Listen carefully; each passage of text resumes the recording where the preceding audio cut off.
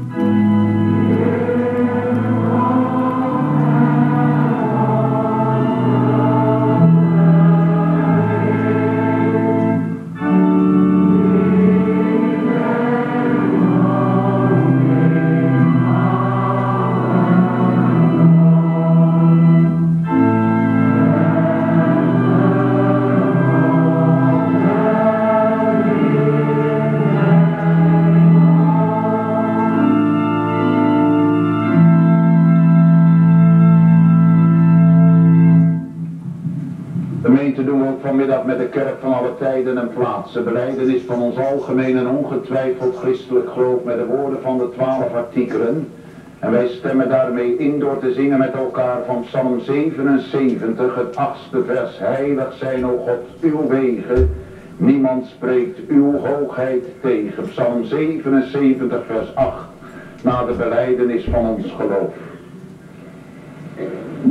Ik geloof in God de Vader, de Almachtige, schepper des hemels en der aarde, en in Jezus Christus, zijn enige geboren Zoon, onze Heer, die ontvangen is van de Heilige Geest, geboren uit de Maagd Maria, die geleden heeft onder Pontius Pilatus, is gekruisigd, gestorven en begraven, nedergedaald ter helle.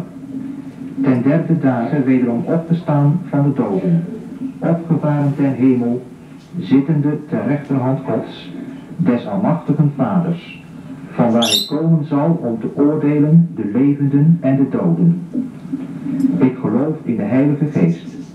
Ik geloof één heilige, algemene, christelijke kerk, de gemeenschap der heiligen, vergeving der zonden, wederopstanding des vleeses en een eeuwig leven. Amen.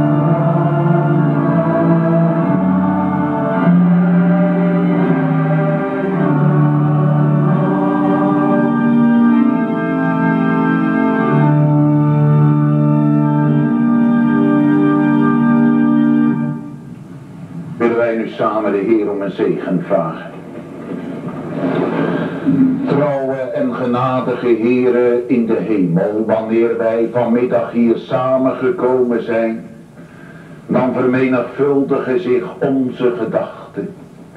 Wanneer wij terugdenken aan alles wat er geweest is, dan zouden wij wel willen dat we een ogenblik de tijd zouden kunnen stilzetten. Heren, maar dat is niet mogelijk. Nooit kunnen wij de tijd stilzetten. En net zo min kunnen wij ook alles wat daar gebeurd is in deze periode wegpannen uit onze gedachten. Heren, wat is er dan veel geweest? Veel waarvoor wij u moeten en mogen danken. Dan hebt u het ons gegeven dat wij iedere week opnieuw hier konden en mochten samenkomen om uw woord te verkondigen en te beluisteren. Om te horen dat u nog geen lust hebt in de dood van de zondaar, maar daarin dat hij zich zou bekeren en leven. Heren, wat moet dan ook deze plaats spreken van uw wondere trouw en goedheid waarmee u tot ons hebt willen komen. Wat een ontfermingen hebt u gehad met deze gemeente en met ons als leden van die gemeente. Want als wij eerlijk zouden zijn, maar wat zijn wij dat weinig, als we eerlijk gemaakt zouden zijn tegenover u, dan zouden wij het moeten beleiden dat u goed geweest bent voor ons. Heere, wat zijt gij een wonderlijk God geweest. En wat is uw genade en uw trouw en uw ontferming oneindig groot geweest over ons. Want als wij zien wat wij ervan gemaakt hebben, als gemeente, maar ook heel persoonlijk als predikant.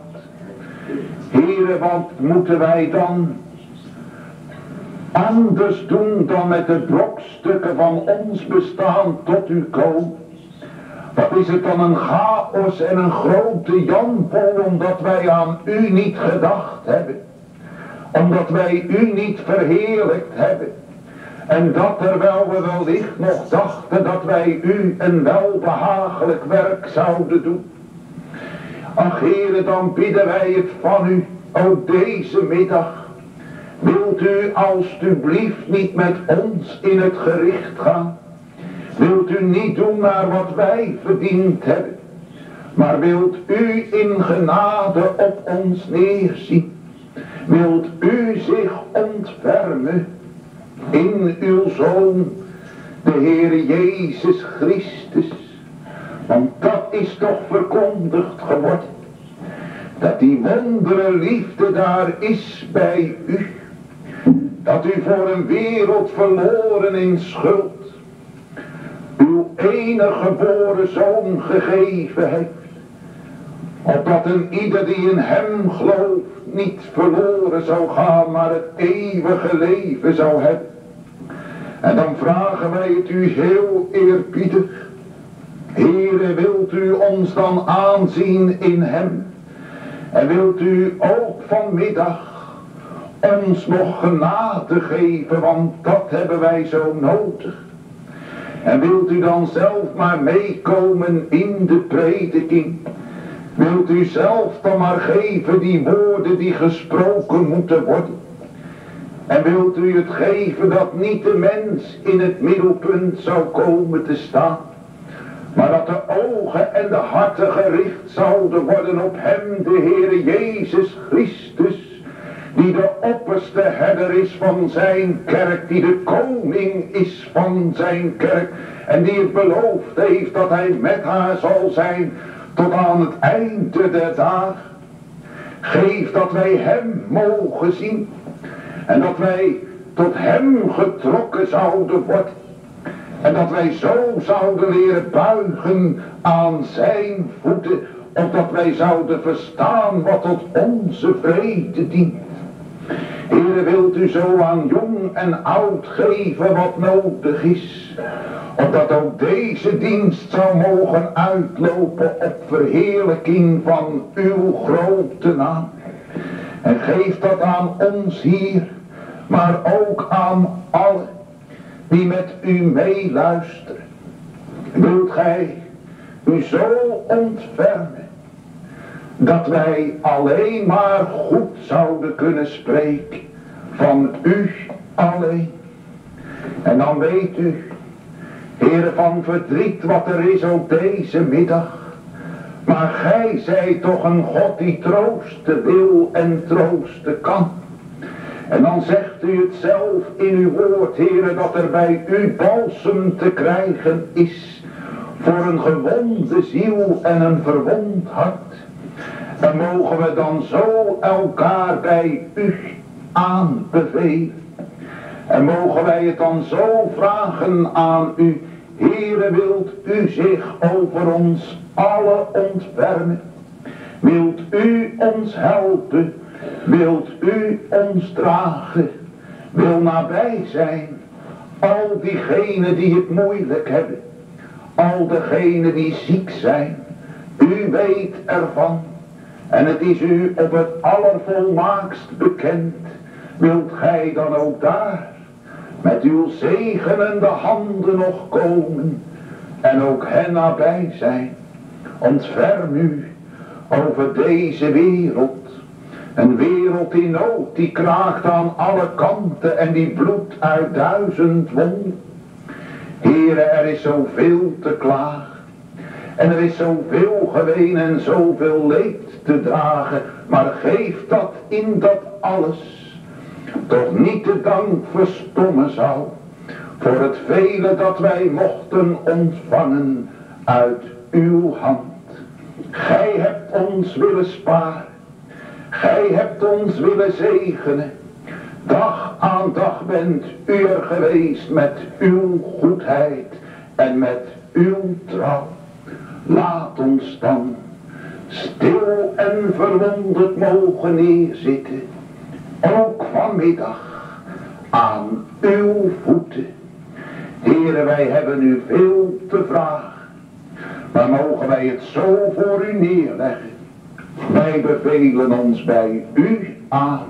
Zie op ons neer en geef ons uw zegen om Christus wil uit genade. Amen. De schriftlezing voor vanmiddag vindt u in het Nieuwe Testament. In de eerste brief van Paulus aan de Corinthiërs.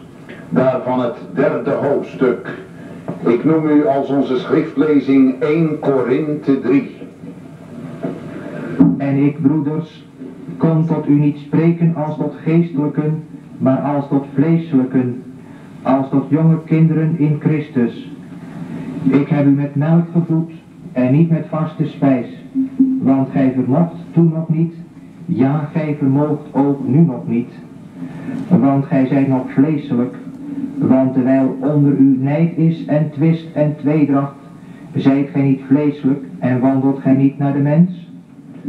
Want als de een zegt, ik ben van Paulus, en een ander, ik ben van Apollos, zijt gij niet vleeselijk, wie is dan Paulus en wie is Apollos anders dan dienaars door welken gij geloofd hebt en dat gelijk de Heere aan een iegelijk gegeven heeft? Ik heb geplant, Apollos heeft nat gemaakt, maar God heeft de wasdom gegeven. Zo is dan nog hij die plant iets, nog hij die nat maakt, maar God die de wasdom geeft. En die plant en die nat maakt zijn één maar een iegelijk zal zijn loon ontvangen naar zijn arbeid. Want wij zijn Gods medearbeiders. Gods akkerwerk, Gods gebouw, zijt gij. Naar de genade Gods, die mij gegeven is, heb ik als een wijs bouwmeester het fundament gelegd. En een ander bouwt daarop. Maar een iegelijk ziet toe hoe hij daarop bouwen. Want niemand kan een ander fundament leggen dan hetgeen gelegd is, het welk is Jezus Christus. En indien iemand op dit fundament bouwt, goud, zilver, kostelijke stenen, hout, hooi, stoppelen, eens iegelijks werk zal openbaar worden. Want de dag zal het verklaren, terwijl het door vuur ontdekt wordt. En hoedanig eens iegelijks werk is, zal het vuur beproeven. Zo iemands werk blijft, dat hij daarop gebouwd heeft, die zal loon ontvangen. Zo iemands werk zal verbrand worden, die zal schade lijden.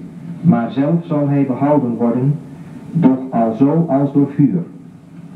Weet gij niet dat gij Gods tempel zijt, en de geest Gods in uw lieden woont? Zo iemand de tempel Gods schendt, die zal God schenden, want de tempel Gods is heilig, welke gij zijt. Niemand bedriegen zichzelf. Zo iemand onder u dunkt dat hij wijs is in deze wereld, die wordt dwaas, opdat hij wijs mogen worden. Want de wijsheid deze wereld is dwaasheid bij God, want er is geschreven, hij vat de wijzen in hun arglistigheid. En wederom, de Heer kent de overleggingen der wijzen, dat zij ijdel zijn. Niemand dan roemen op mensen, want alles is uwe. Het zij Paulus, het zij Apollos, het zij Cephas, het zij de wereld, het zij leven, het zij dood, het zij tegenwoordige, het zij toekomende dingen, zij zijn alle uwe. Doch gij zijt van Christus, en Christus is Gods.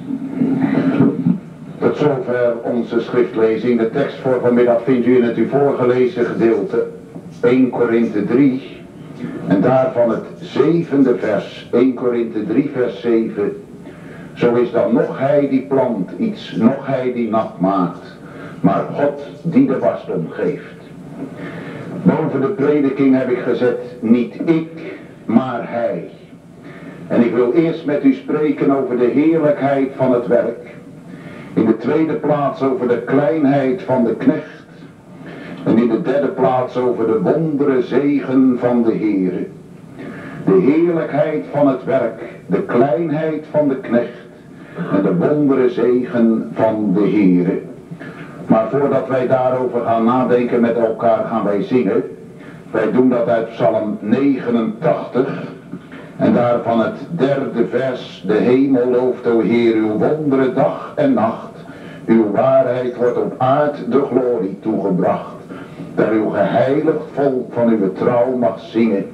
En hoe zalig is het volk dat naar uw klanken hoort. Zij wandelen, Heer, in het licht van goddelijk aanschijn voor Psalm 89, het derde en zevende vers. En inmiddels krijgt u gelegenheid om uw liefdegave te geven in de dienst der offeranden. De eerste rondgang is voor de diaconie. De tweede rondgang voor kerk en Israël, terwijl de collecte bij de uitgang bestemd is voor de kerk Voldij. We willen deze collecte heel hartelijk bij u aanbevelen. In de diensten van volgende week zondag hopen voor u voor te gaan, zo de Heer wil, om half tien dominee Voets uit Kootwijkenbroek. En om drie uur kandidaat JC de Groot uit Ridderkerk. In deze dienst is de extra collecte bestemd voor de kerk Voldij. De volente woensdag 16 oktober hoopt de kerkenraad in vergadering bijeen te komen. De aanvang is half negen. Wilt u hen in uw voorbeden gedenken? En dan een mededeling voor de mannenvereniging. Deze zal niet woensdag vergaderen, maar zo de Heer wil donderdag in verband met de kerkenraadsvergadering. De kerkenraad hoopt deze week huisbezoek te doen bij de volgende families.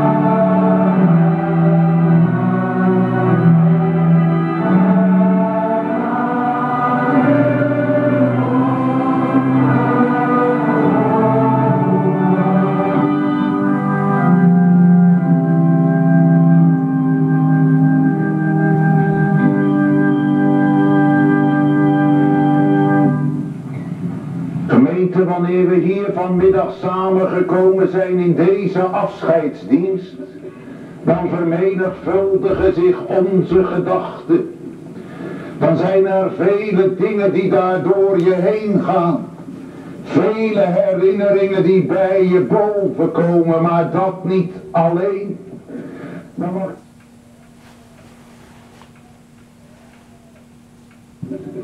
Dan vermenigvuldigen zich onze gedachten. Dan zijn er vele dingen die daardoor je heen gaan. Vele herinneringen die bij je boven komen, maar dat niet alleen. Dan mag ik toch ook zeggen, ik heb al die vier en half jaar met grote vreugde mogen werken in uw midden.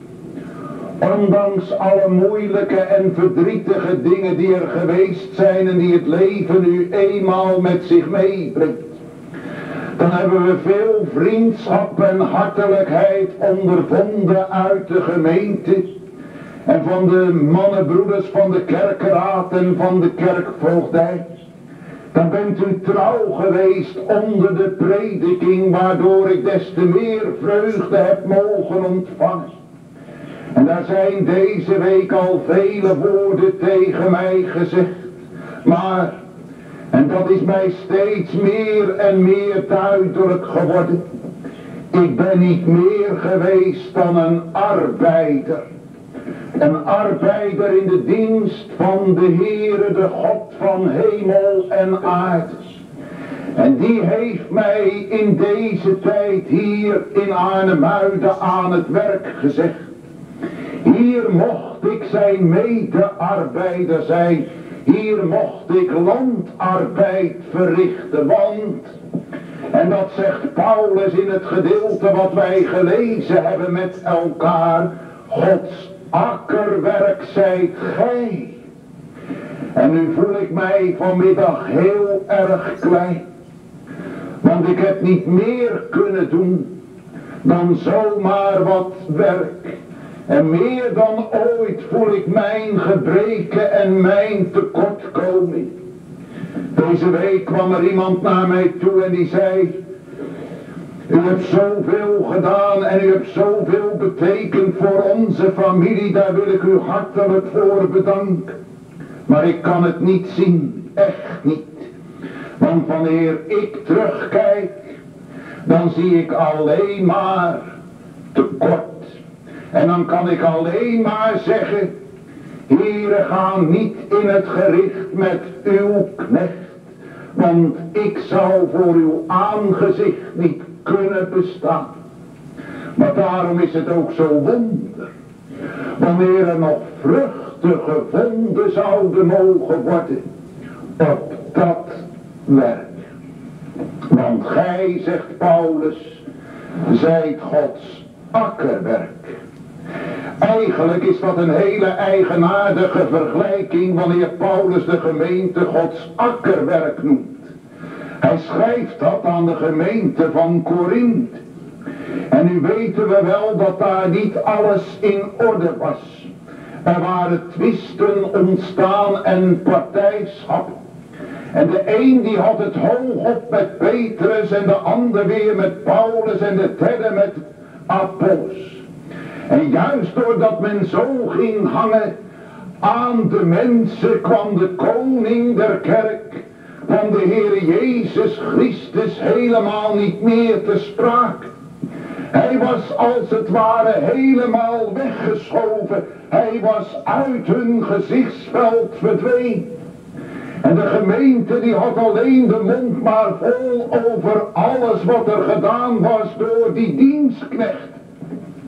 En dat is ook het grote gevaar wat ons vanmiddag besluiten kan. Maar nu gaat Paulus alles weer op zijn plaats zetten. En dan zegt hij, u moet niet zien op die arbeider.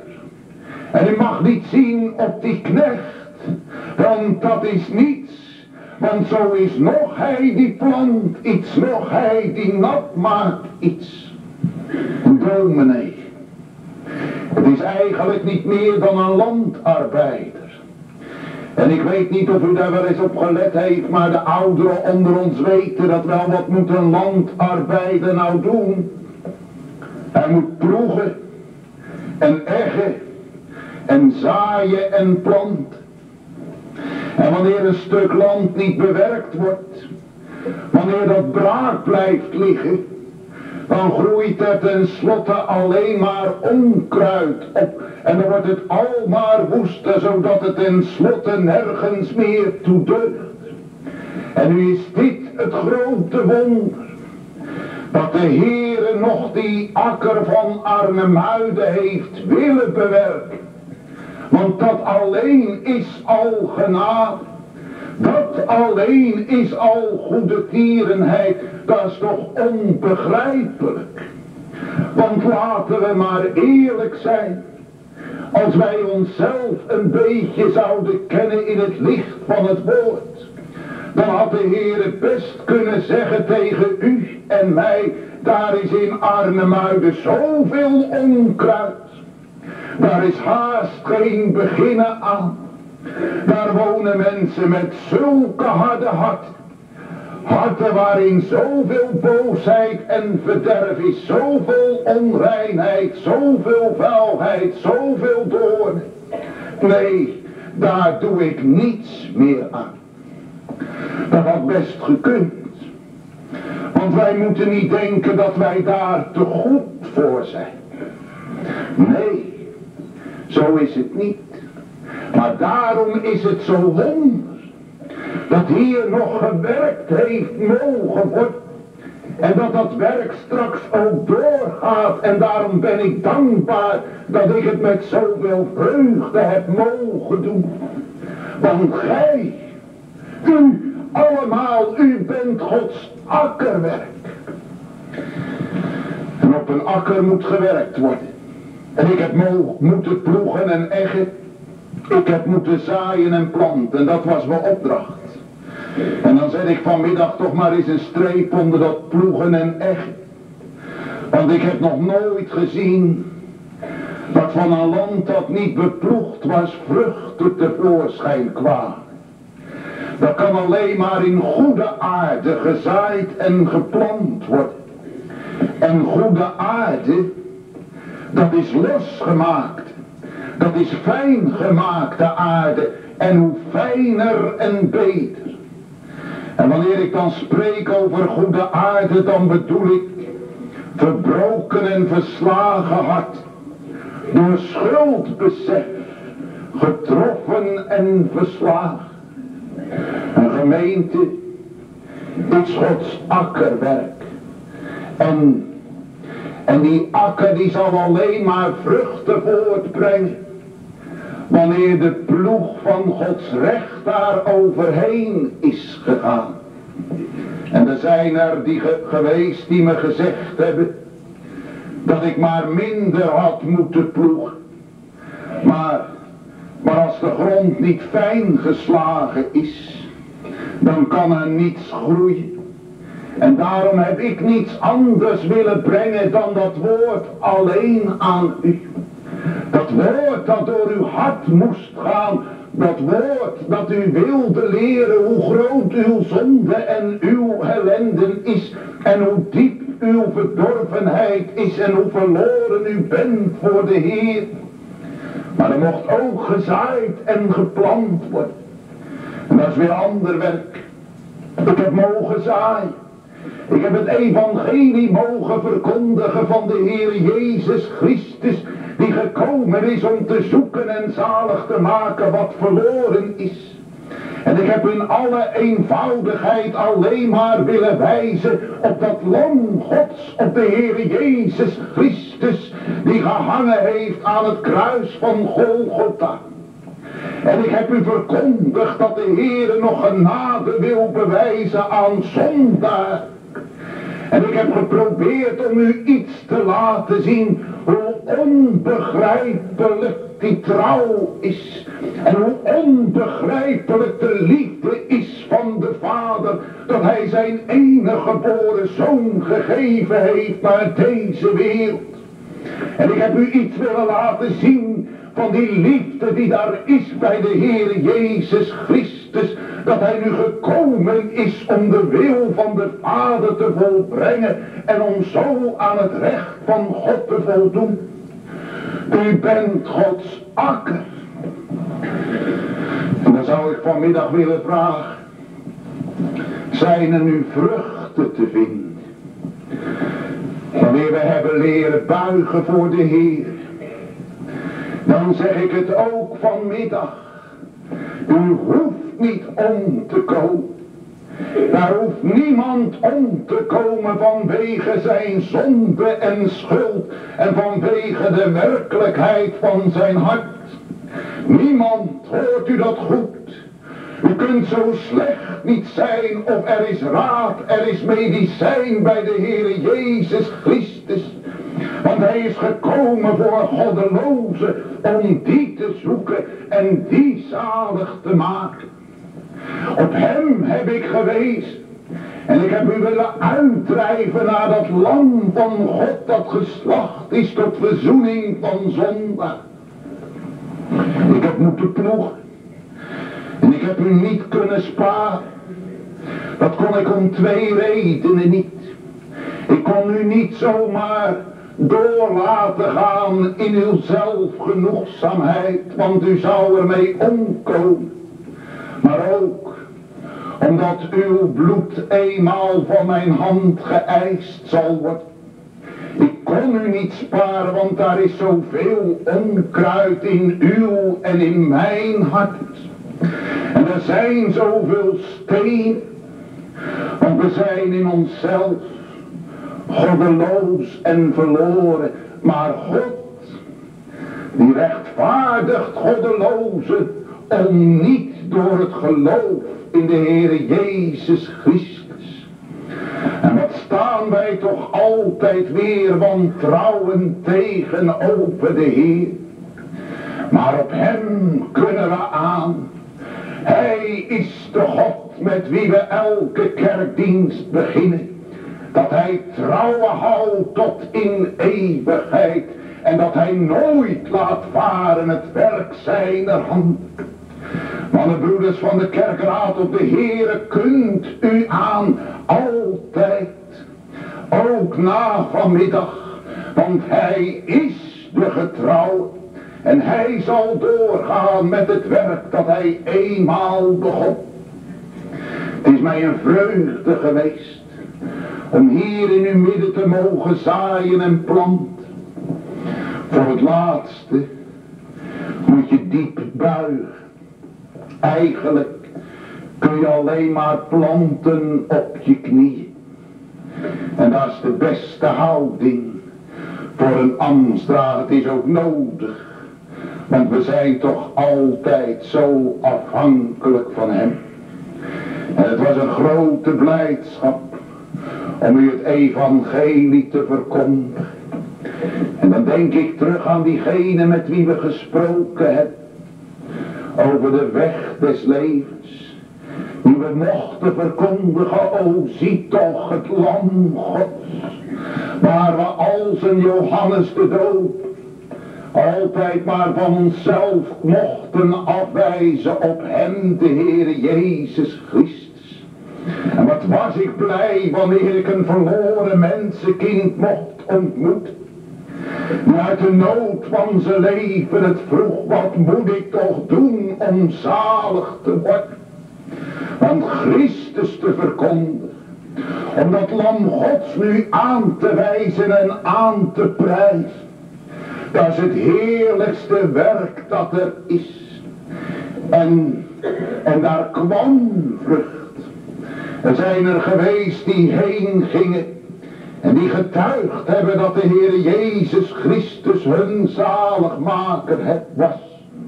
Die het getuigd hebben nog even. En dan ben ik thuis bij mijn vader. En dan was er ondanks alle droefheid en smart toch vreugde en blijdschap. En dan zeg ik het vanmiddag ook tegen de jongen in ons midden. Dan geloof het toch. Dat ook voor jullie diezelfde weg nog geldt. En ook bij jullie zal geploegd en geëcht moeten worden. En gezaaid en geplant. Ik heb het met alle liefde van mijn hart gedaan om ook bij jullie dat zaad van het evangelie te mogen uitstromen. Het gaf me grote vreugde, een grote blijdschap om zo te mogen bezig zijn in uw midden. Ik was een arbeider die in de opdracht van de Heere zo gewerkt heeft en toch, en toch gemeente, nu heb ik mogen werken en wat verder. Nou, dan heb ik niet meer kunnen doen dan heel ootmoedig mijn hoofd te buigen en het te vragen. Heere, wilt u het nu laten groeien? Want het is zo waar wat de tekst zegt. Zo is nog hij die plant iets, nog hij die nat maakt. En dat heb ik ook moeten leren, steeds meer. Want wat is nu eigenlijk een mens gemeend? Vorige week, toen ben ik nog eenmaal naar het kerkhof gegaan. En ik heb al die namen gelezen van die mensen die ik begraven heb. En dan zie je heel die geschiedenis weer voor je van dat lijden en sterven. En wat zijn het er veel geweest, jongeren en ouderen. Sterke mensen die zomaar in één ogenblik weggenomen waren en anderen die langzaam hun krachten zagen wegglijden. En toen ik daar liep dacht ik, wat is toch een mens? Als we sterk zijn 70 jaar en zo we zeer sterk zijn 80 jaar. Maar het einde komt. Onherroepelijk. En wat is het dan waar dat de mens niets is? En wanneer we daarbij dan nog denken aan de weg der zaligheid, dan krijgt die gedachte nog meer kracht. Want wat kan een mens nu geven? Voor zijn zaligheid. Wat kan hij nu meebrengen wanneer hij straks voor de Heere verschijnen moet? Niets, echt niets. We proberen dat wel. En we zijn daar altijd wel weer druk mee bezig, want wij zijn toch van die doel hetzelfde, die altijd maar weer gaan proberen om zelf de zaligheid te verdienen. Ik was van een man, die met twee grote zware kruisen op zijn rug en op zijn blote voeten een voettocht ging maken naar Rome. En toen ze hem vroegen waarom hij dat deed, antwoordde hij om mijn zonde te boeten. Om vergeving te verkrijgen, om de zaligheid te verdienen. En wij, wij die ons dan graag rekenen bij de reformatie, wij zeggen arme stump. Dat kan immers niet, dat kan nooit. En dat is waar. Maar zulke stumpers zijn er veel meer dan wij denken. Mensen zoeken zelf hun zaligheid te verdienen. En ze willen niet weten of ze weten niet van de Heer Jezus Christus die gekomen is. Kijk, wanneer ik u had moeten bekeren. En wanneer ik het zaad van het evangelie had moeten doen groeien. En wanneer ik uw harten had moeten vernieuwen. En wanneer ik het geloof in uw harten had moeten werken. Dan was het in al die jaren hier op niets uitgelopen. Echt niet. Ik kan mezelf nog niet eens bekeren. En ik kan mezelf nog niet eens vertroosten. En ik kan mezelf nog niet eens het geloof geven. Laat staan dat ik uw hart had kunnen veranderen. En daarom zeg ik het vanmiddag de apostel Paulus na uit het diepst van mijn hart. Zo is dan nog hij die plant iets, nog hij die nat maakt. Moet maar eens kijken naar iemand die op het land werkt. Dan is die bezig om die plantjes uit te poten. En wanneer het droog is, dan probeert hij de grond ook nog wat nat te maken. Maar kan hij het nu doen groeien? Kan een mens op de akker die hij beplant heeft de zonnestralen laten neerdalen? En kan hij de verkwikkende dauw of de regen van de hemel geven? Kan de arbeider de gezaaide korrel doen ontkiemen? En kan hij dat geplante stekje doen uitbotten? Nee, immers. We staan daar machteloos. En kan u een arbeider op Gods akker één hart het leven en het geloof geven? Kan hij één zondaar tot bekering brengen, dan zeg ik nee. Absoluut niet. Er vroeg deze dagen iemand aan me, dominee, hoeveel mensen heeft u nu bekeerd in Arnhemuiden? Veel of weinig? Ik heb hem alleen maar aangekeken en ik heb gezegd, ik hoop van niet één. Want dan komen ze ermee om. Dus u bent hier eigenlijk voor niets geweest. Nee. Gode zij dank. Ook dat niet. Er zijn er die het me gezegd hebben dat ik een middel mocht zijn waardoor zij dichter bij de Heere mochten leven. Hoort u wel een middel, meer niet. En zo is hij die plant nog iets, nog hij die nat maakt.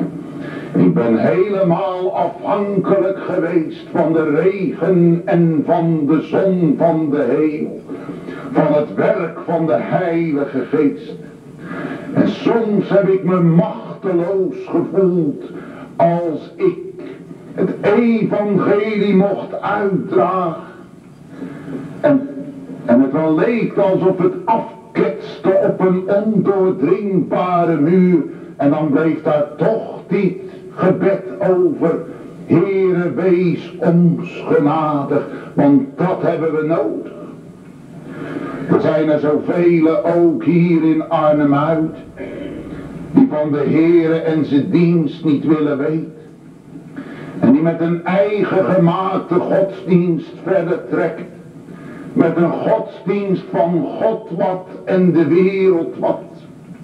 En ik heb er verdriet over als ik er zoveel zie die op verkeerde wegen wandelen.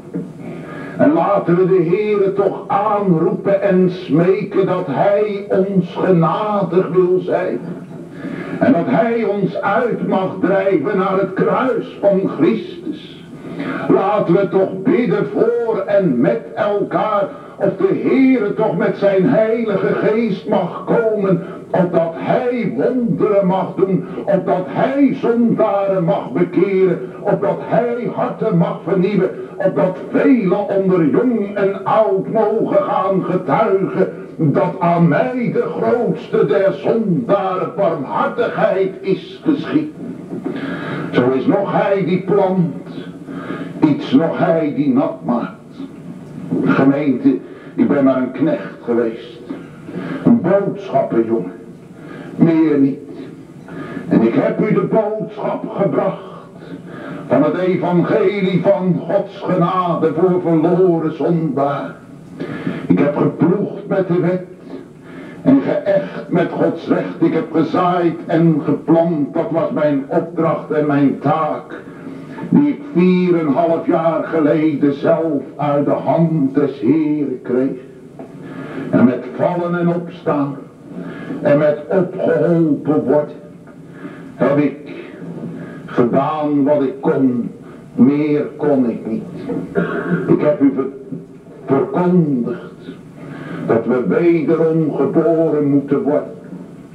Dat we bekeerd moeten worden. En dat we de Heer Jezus Christus in het geloof moeten aannemen. En dat we ons kruis op ons moeten nemen om achter hem aan te gaan. En ik heb u gepredikt dat wij alleen maar behouden kunnen worden. In de weg dat onze zonden gewassen worden in het bloed van het lam. Dat we alleen maar gered kunnen worden als de Heer Jezus, de goede herder, ons als een verloren schaap vindt. En wanneer Hij ons op zijn schouders neemt. Ik heb u verkondigd dat we alleen maar als rechtvaardigen kunnen verschijnen voor God. Niet in onszelf, maar alleen in de Heer Jezus Christus. Want alleen in hem is het leven te vinden. Alleen in hem is de heerlijkheid te vinden. En de volkomen vrede, die vrede die alle verstand te boven gaat. En daarom wijs ik ook vanmiddag op hem alleen en roep ik u toe. Zie toch dat lam gods. Ik was een boodschappenjongen. Heel gebrekkig is mijn werk geweest, meer niet. En er zijn mensen geweest die in doodsnood mijn hand vastgrepen en zeiden, dominee, breng me toch in de hemel. Ik kon het niet. Ik kon alleen maar wijzen op hem. Op hem, de Heere Jezus Christus. Zelfs de moordenaar aan het kruis in genade aannam. En dat hebben we allemaal nodig, u en ik. En of we nu hier wonen of ergens anders. Dat we, dat we van genade leren leven. Dat we zo klein worden. Dat er niets anders overblijft dan genade alleen. Hij moet wassen. Hij, hij alleen en wij allemaal laten wij dan maar minder worden. Laten we maar niets worden. Zo is dan nog hij die plant, iets nog hij die nat maakt. Ik ben niets gemeend, echt niet, helemaal niets in eigen kracht. Ik kan van mezelf, als ik terugkijk, niet veel goeds vertellen. Echt niet. En, en dat meen ik oprecht. Maar van de Heer, daar kan ik wel veel van vertellen. Van de Heer, dat hij zo goed geweest is. Dat hij zo trouw geweest is. Dat hij zo barmhartig geweest is en zo veel ontfermd. En dat hij het zo waard is om gediend te worden. En dat de Heer Jezus Christus het zo waard is om gediend te worden, jongelui. Zoek hem, toch hem alleen. Dan alleen kan je leven waarde krijgen. En vanmiddag roep ik het u toe, misschien wel voor de allerlaatste keer aan jong en oud. Buig toch uw knie. En smeek toch om die genade die in Christus is.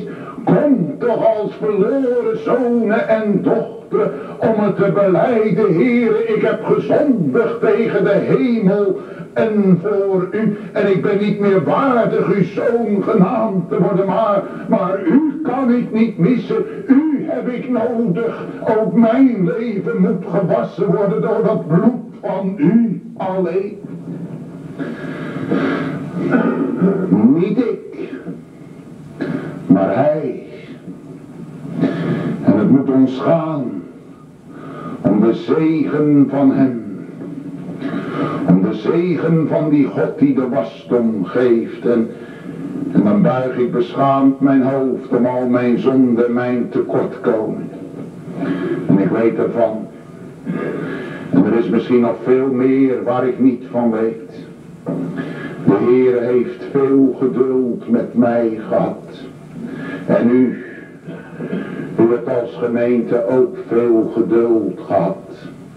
En u hebt me veel liefde geschonken. En misschien heb ik wel eens iemand pijn gedaan. Zonder dat het mijn bedoeling was. Maar in, in de diepste grond der zaak is het me toch gegaan om de Heer en om zijn naam en zijn eer. En dan vergeet ik echt mijn zonde en gebreken niet.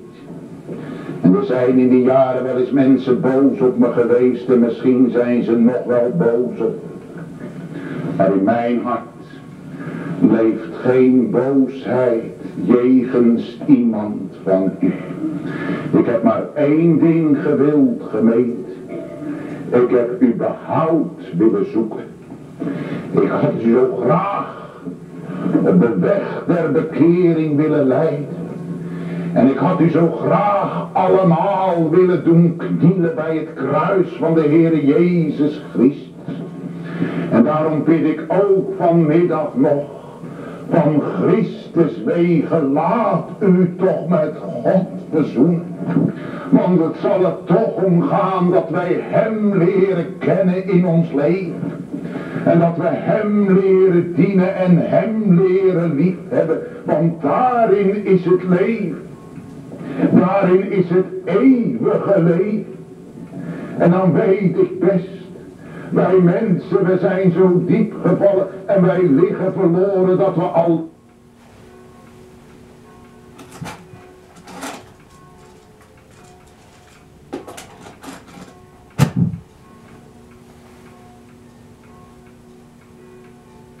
zijn zo diep gevallen en wij liggen verloren dat we alleen maar door een wonder behouden kunnen worden. Door het wonder van Gods genade en Gods ontferming.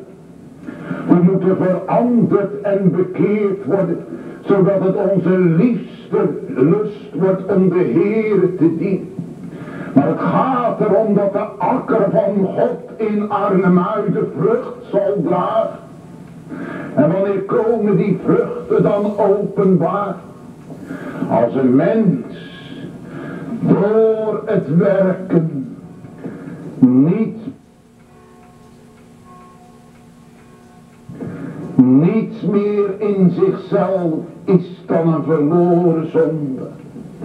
Als hij gebroken is voor God.